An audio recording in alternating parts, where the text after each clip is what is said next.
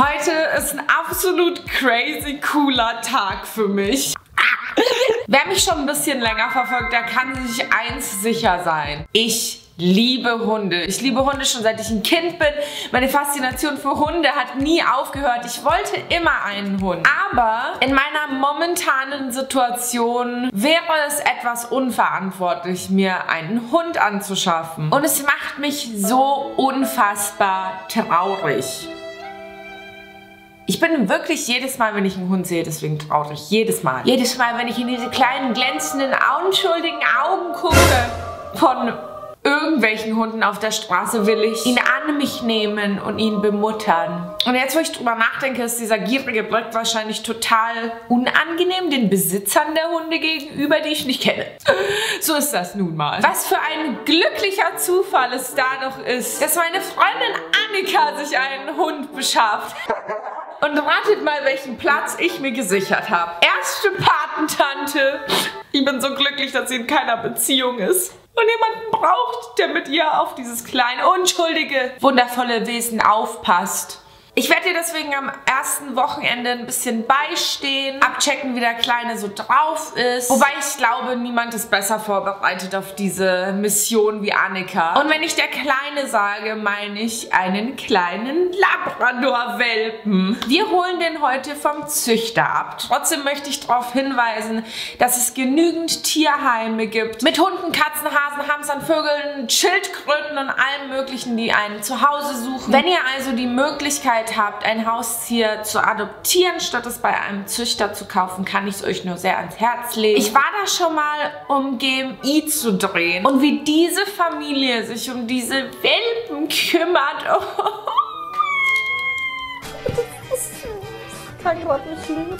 Magst du mich? Und deswegen wusste ich von Anfang an, als Annika mir erzählt hat, sie will sich ein Labrador-Baby holen, wer der richtige Ansprechpartner dafür ist. Und wir durften ihn direkt besuchen, als er zwei Wochen alt und noch so ganz rattig war. Seine Schnauze war noch rosa. Der war so klein. Ach war einfach eine amazing Zeit. Und vor zwei Wochen durften wir ihn dann nochmal besuchen. Da war er schon so viel größer. Es ist unfassbar, wie schnell diese Hunde wachsen. Ich weiß nicht, warum hier ein Baum liegt, aber heute äh, dürfen wir ihn das erste Mal kuscheln. Der ist sechs Wochen alt, der kleine Baby. Ach, wir haben nur eine halbe Stunde. Richtig süß und ich freue mich schon drauf. Mm. So, du kleiner Dickerchen. Ja, ja, klemmt sie richtig fest hier, warte.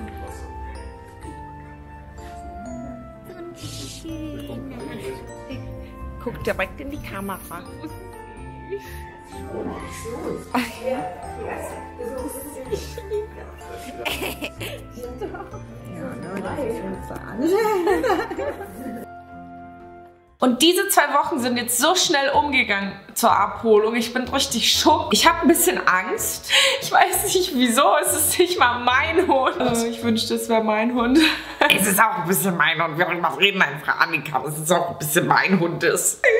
Hey, unser Leben wird sich für immer verändern. Wir haben jetzt ein Baby unter uns. Anders als bei Menschenbabys, die ab fünf Jahren vielleicht schon ein bisschen für sich selber sorgen können, wird dieses Labrador, göttliche Wesen, für immer auf uns angewiesen sein. Deswegen, Leute, bevor ihr euch einen Hund holt, seid euch dessen bewusst, dass es einfach euer Leben verändern wird.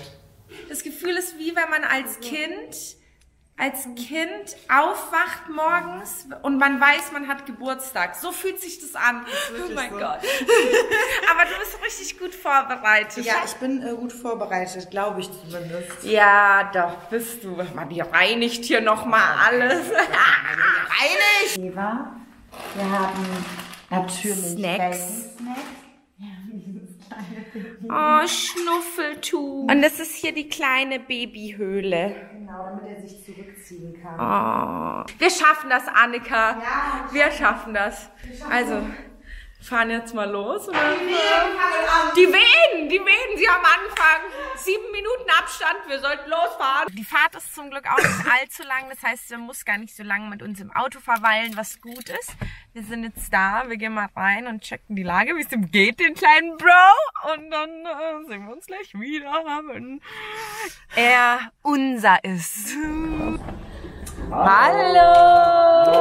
Hallöchen! Oh, hi! Und ihr Kleinen. Hallo! Nein! Oh Mann! Die freuen sich. Njam. Alter, das ist hier ein Kampf. Hier, guck mal. Ich kann gar nicht glauben, dass wir den jetzt nach Hause nehmen können.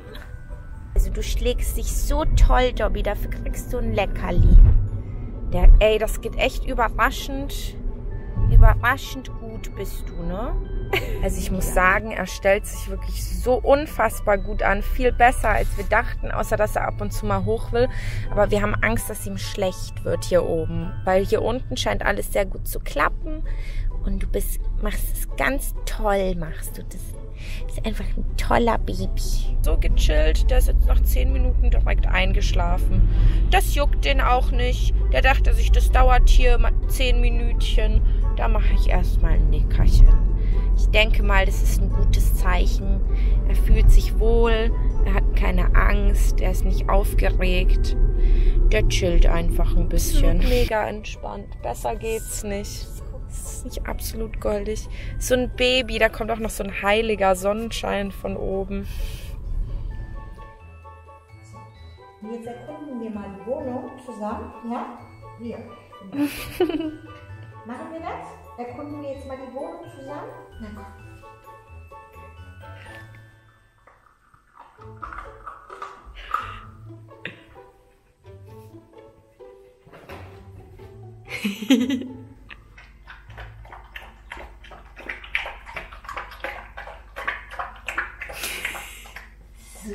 Oh mein Gott, süß.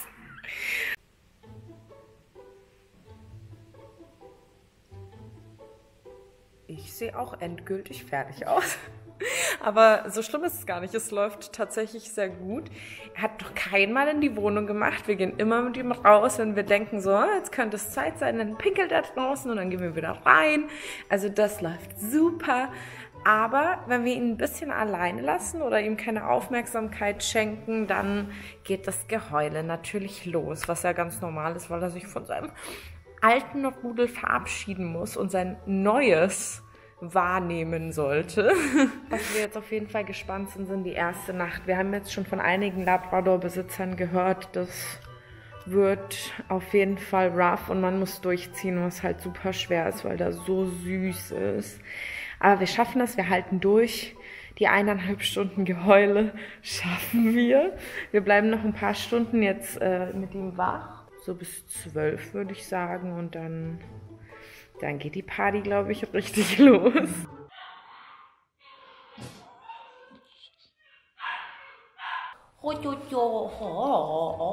Ja, jetzt bist du wieder ganz lieb und niedlich, ne? Also Leute, alles, was Hundebesitzer sagen darüber, dass es unfassbar schwer ist, einen Hund zu erziehen, Surprise, die haben alle recht. Ist voll verständlich. Der ist in so einer neuen Umgebung und so und hat halt mega geweint und das war voll schwer, nicht nachzugeben.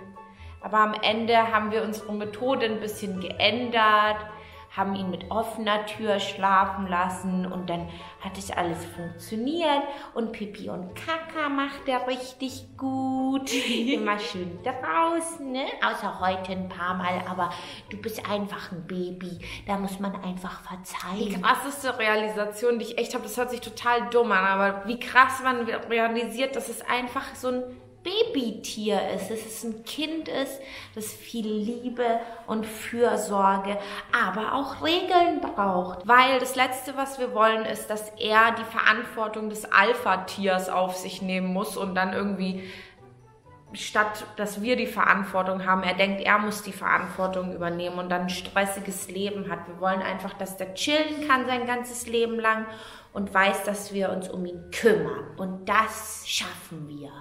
Cho cho cho. Cho cho cho. Cho cho cho cho cho cho cho cho. Er hört unfassbar gut auf seinen Namen. Jedes Mal, wenn wir nur sagen Dobby, hört er schon auf, wenn er was Nortiges macht. Naughty Dupes. Also an alle da draußen, Dobby geht's gut, uns geht's auch gut. Er schlägt sich echt, echt gut dafür, dass er von seiner Mama und von seinen Geschwisterchen weg ist. Den ersten Tag Das hat ordentlich gejuckt, du. also Leute, lasst ein Like da, falls ihr mehr Updates von Dobby sehen wollt. Annika, wie geht's dir eigentlich? Ich bin müde, wa? Ich bin auch müde. Dobby ist auch müde. Wir gehen jetzt alle zusammen ein Nickerchen machen und wir sehen uns dann beim nächsten Mal.